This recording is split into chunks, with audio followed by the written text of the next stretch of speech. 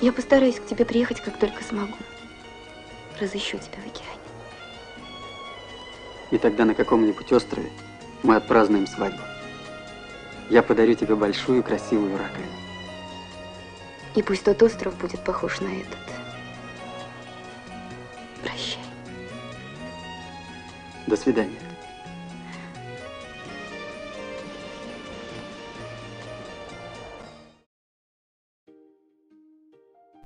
Иногда ее жизнь напоминала самый настоящий приключенческий роман, а временами была похожа на мелодраму.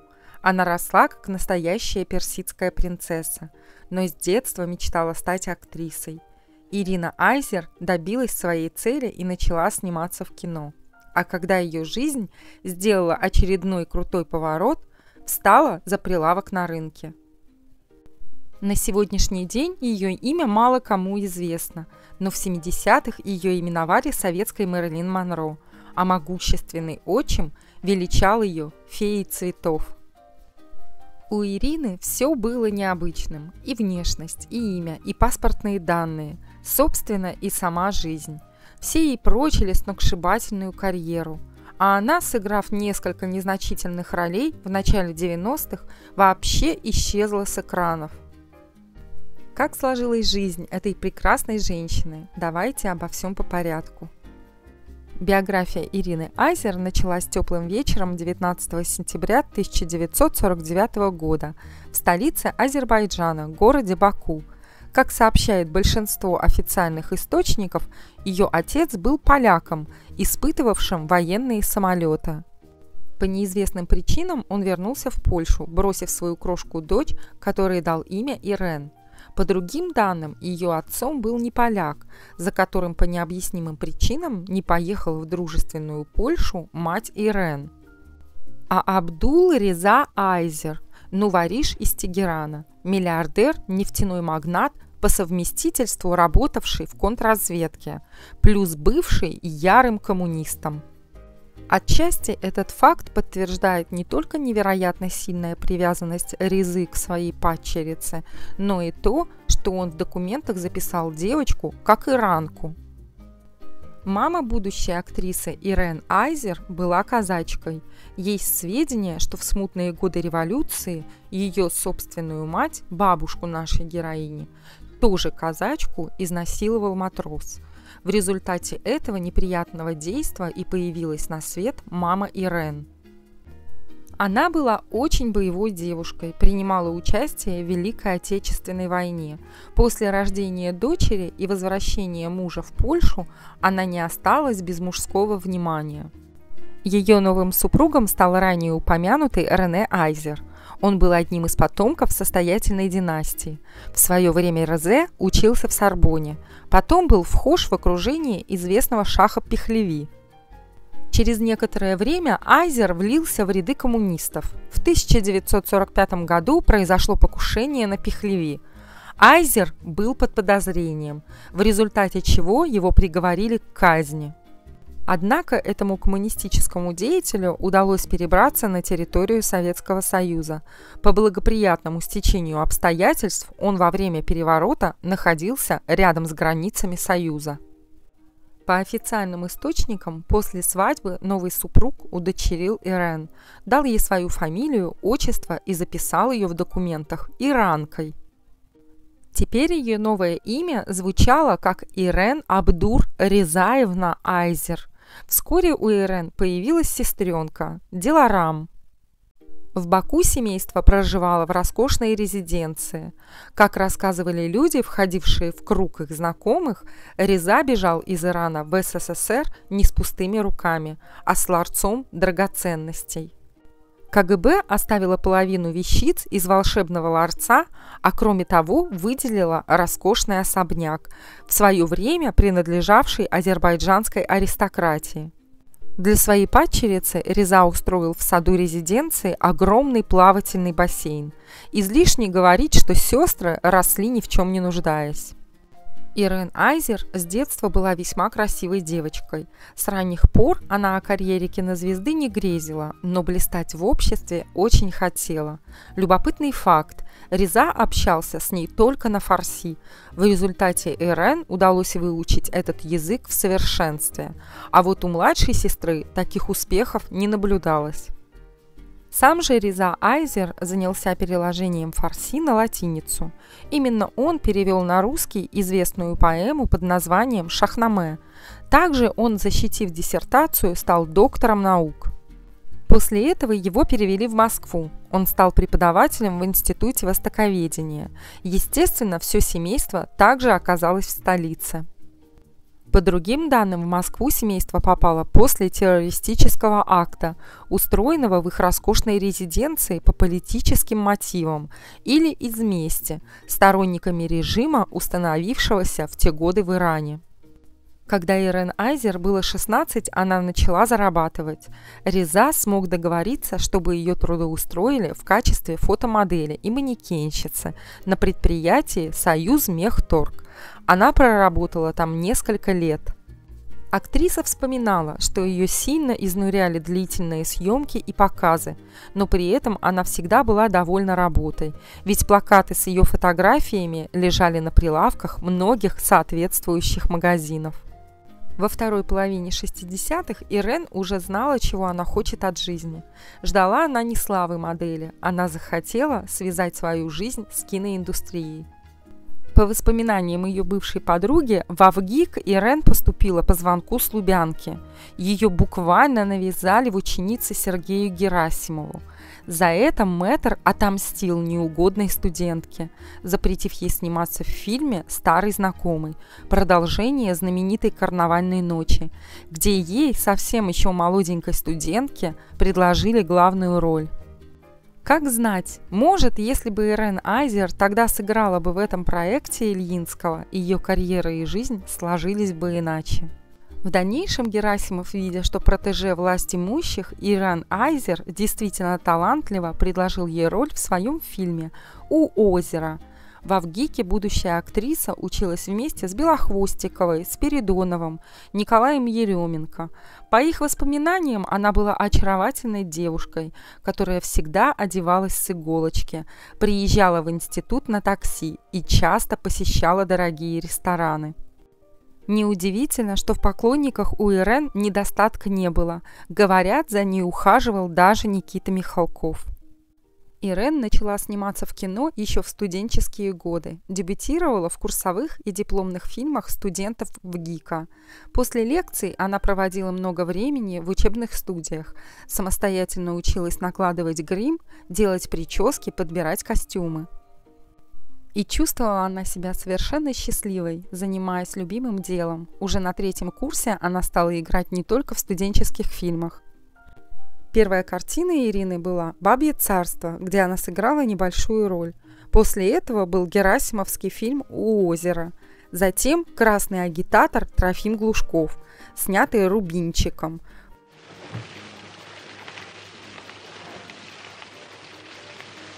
Только не оглядывайся.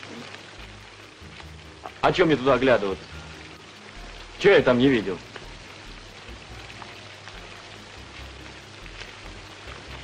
После этого была работа в фильме «Освобождение», снятом режиссером Озеровым. Ей доставались только эпизоды. Первую более-менее заметную роль актриса сыграла в фильме «Внимание, черепаха» режиссера Ролана Быкова. Ее героиня – учитель начальных классов, на которую все дети хотят быть похожими. В начале 70-х Ирен Айзер получила приглашение сняться в фильме «Большая перемена». Ей дали роль Люськи, возлюбленной Ляпишева. С этой картиной у многих актеров связан взлет в карьере. Она оказалась своеобразным стартапом. У Ирины также начался бум популярности. Ее регулярно зовут сниматься, и девушка охотно принимает все приглашения.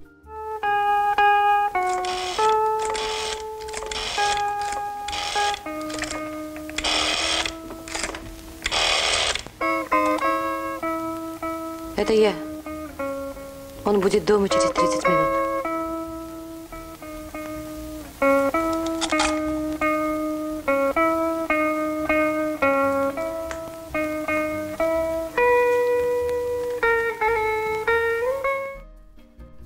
Эти годы выходят картины, идущие за горизонт. «Дорогой мальчик», «Акванавты», «Горожане», «Не стреляйте в белых лебедей». Она также блестяще сыграла секретаршу Марту в лентах «Возвращение резидента» и «Конец резидента». А потом наступили 90-е, и наступил период затишья. Последней работой в кино стал фильм «Графиня», который вышел в 1991 году. За весь период своего творчества Ирина снялась более чем в 30 фильмах. 90-е стали для Ирен серьезным испытанием. Фактически она осталась без работы, так как проекты, в которые ее поначалу звали, вызывали у актрисы полное отторжение. Надо было как-то выживать, и Ирина взяла в аренду небольшой ларек, где стала торговать женским бельем. За прилавком стояла сама, правда старалась оставаться неузнанной, надевала парик и огромные очки на все лицо. Дела у нее, в общем-то, шли неплохо, однако в жизни все шло не так, как бы ей хотелось. Белокурая красавица никогда не знала недостатков в поклонниках. Даже некоторые режиссеры фильмов, в которых она снималась, пытались завладеть вниманием симпатичной актрисы. Она собиралась замуж за Владимира Достоля, но пока он был на съемках в Германии, Ирина решила – Замуж торопиться не стоит. Даже Владимир Гафт не устоял перед обаянием молодой актрисы. Правда, она сама очень быстро поняла, что не сможет жить с человеком, рядом с которым чувствует себя глупенькой девочкой, не способной поддержать серьезную беседу о проблемах театра. Ралан Быков обещал жениться на Ирине. Правда, только в том случае, если она понравится его маме – к счастью, в то время актриса уже была замужем. Еще на третьем курсе она приняла предложение журналиста Юрия Сушкова-Шварца, от которого родила в 1975 году дочь Вику. Брак просуществовал всего несколько лет и распался из-за взаимной ревности супругов. Сотрясавшие семью скандалы никак не способствовали сохранению чувств, и в 1981 году супруги расстались. Спустя пять лет Ирина вышла замуж во второй раз, но прожили вместе с супруги всего 12 лет, после чего муж Ирины скоропостижно скончался. Ирина погрузилась в депрессию и начала злоупотреблять спиртными напитками – Дочь Ирен еще в 1992 году уехала с мужем и сыном в США, а в 2002 году свела счеты с жизнью ее сестра Диларам. В какой-то момент актриса решила, что в стране ее больше ничего не держит. Зато за океаном живет самый родной человек – ее дочь. Теперь Ирен Айзер живет в Калифорнии с дочерью и двумя внуками, а съемки в кино остались далеко позади. Ирен продолжает успешный бизнес, на этот раз в сфере недвижимости. Миллионное наследство отчима она так и не получила. В конце жизни Абдур Реза Айзер смог вернуться в Иран, и когда здоровье его пошатнулось, он составил завещание в пользу дочерей Ирен и ее сестры Диларам – когда они прибыли в Тегеран в 1978 году, отец еще был жив, но вскоре его не стало. Вокруг смерти отца и его наследства ходило множество слухов. Некоторые издания писали, что его убили по политическим мотивам. Другие издания утверждали, что его убили родственники из-за наследства. В момент пребывания сестер в Иране в стране началась исламская революция. Сестры вместе вынуждены были бежать буквально под дулами автоматов. Несмотря на то, что Ирен была замужем, но ее пребывание в Иране не обошлось без любовного романа. Ирен не могла сдержать слез. В Тегеране оставался ее возлюбленный Парвиз, который сделал ее пребывание в стране похожим на причудливую восточную сказку. Он осыпал ее цветами и подарками, дарил какие-то невероятные драгоценности и предлагал забрать с собой в Москву чемодан с золотыми слитками. И он же помог быстро улететь из Ирана, когда разгорелась революция.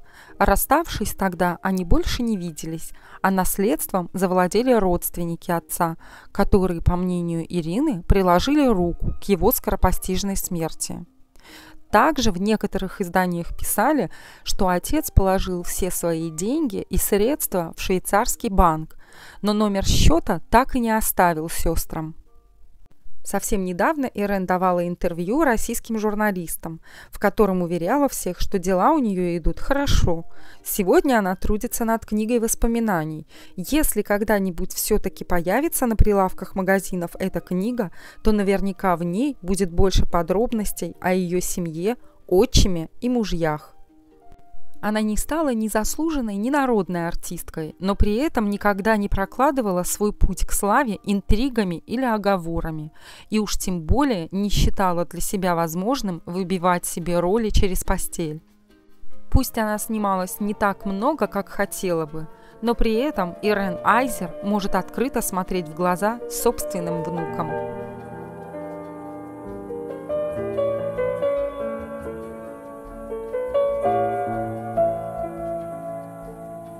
Обещайте мне любовь, пусть безответную, Узнаю в облике любом ее приметы я.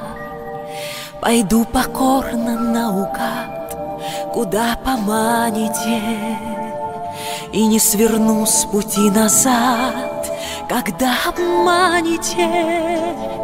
Пообещайте мне любовь, хоть на мгновение Хочу изведать эту боль, как откровение. Я за собой сожгу мосты, не зная жалости. Я все прощу, но только ты. Люби, пожалуйста, люби. Люби, пожалуйста, люби. Люби, пожалуйста Обещайте мне любовь такую нежную. И мир для нас родится вновь, маня надеждою Чтоб разлилась живой водой и песней грустною. Любовь не может быть другой, я это чувствую. Пообещайте мне любовь хоть на мгновение Хочу изведать эту боль, как откровение. Я за собой сожгу мосты, не зная жалости И все прощу, но только ты. Люби, пожалуйста, люби Люби, пожалуйста, люби Люби, пожалуйста. Обещайте мне любовь такую вечную, что будет длиться вновь и вновь до бесконечности. Пусть не сорвутся никогда слова отчаяния, коль не минует нас беда. Пообещайте мне, пообещайте мне любовь, хоть на мгновение Хочу изведать эту боль, как откровение. Я за собой сожгу мосты, не зная жалости. Я все прощу, но только ты. Люби, пожалуйста, люби. Люби, пожалуйста, люби. Люби, пожалуйста, люби